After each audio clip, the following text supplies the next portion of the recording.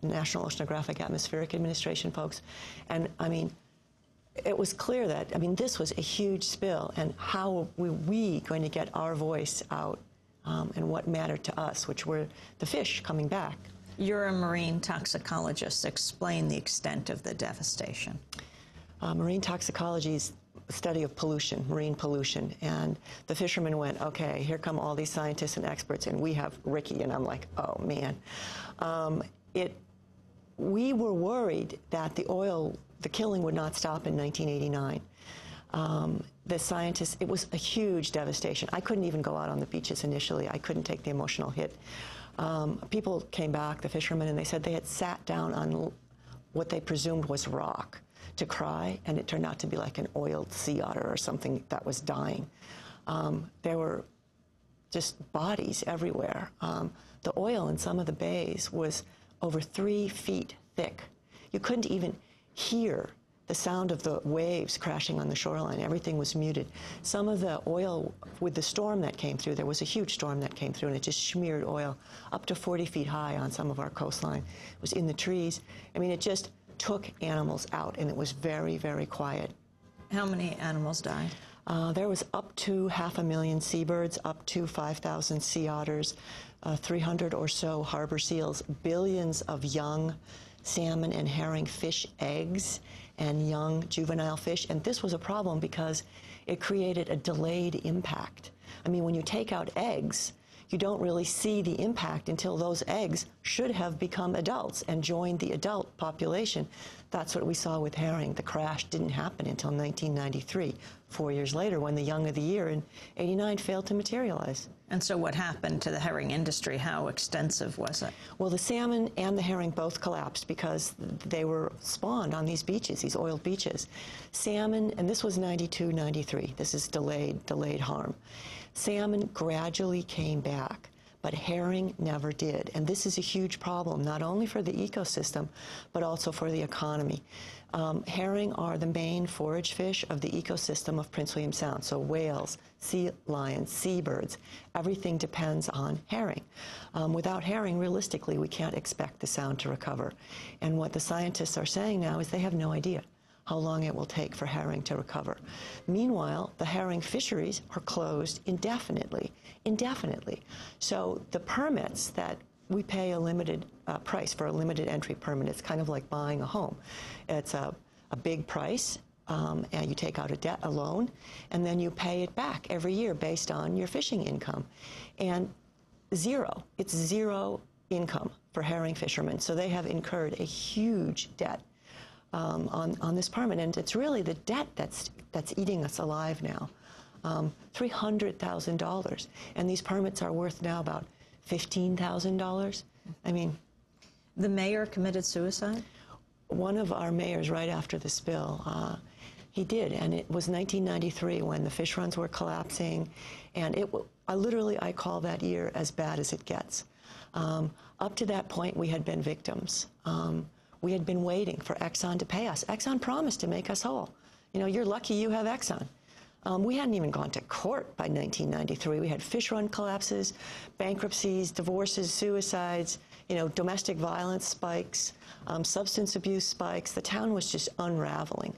And we were waiting for somebody to help us the state of Alaska, the federal government, the court system, Exxon. Nobody. And um, there were 33,000 plaintiffs. There are 32,000 claims, 22,000 plaintiffs. Some people had multiple fishing permits, so salmon fishing, herring fishing, so they would have two claims. And um, th these are people all through uh, 22 communities and even as far out as Bristol Bay because it, the effect, uh, the price dropped and there was a price tainting effect. So um, what, what we did was um, the mayor in our dark hour, it really was our darkest hour, um, committed suicide. And what we did after the fish run collapse is we did a community-wide act of civil disobedience. We blockaded Valdez Narrows, held up oil tanker traffic. This was to bring attention to Prince William Sound. Everything was collapsing seabirds, marine mammals, fish. And this got the attention of President Clinton, and he said, What is it that you fishermen want? And we said, We don't want to be fined for civil disobedience, we're desperate. And also, we want ecosystem studies. We want the scientists to connect the dots between the seabirds, the marine mammals, the fish, the beaches. What happened to Prince William Sound? Those ecosystem studies began in 1994 really too late for our trial. They didn't get completed until about 2004. I'm talking about published papers now.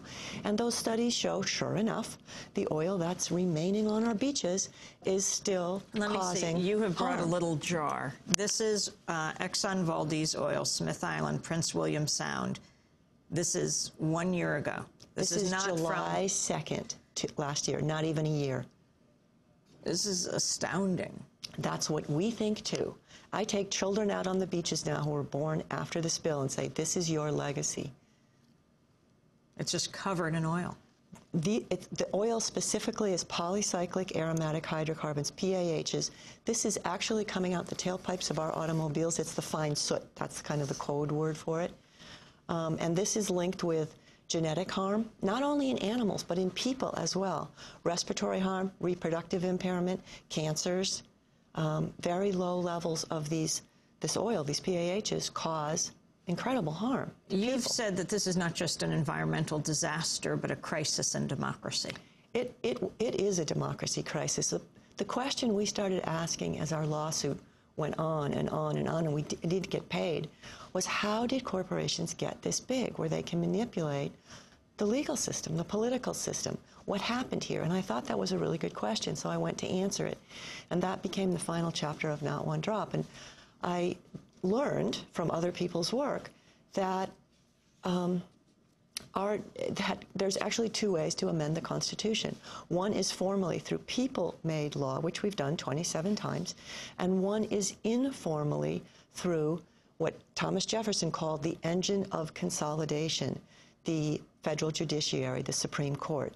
And in 1886, the Supreme Court made sort of a seminal decision where it granted a railroad corporation uh, equal protection under the 14th Amendment, which is, of course, the Civil Rights Amendment for due process and equal protection for African American men. For the first 40 years after that passed, there were 307 lawsuits brought.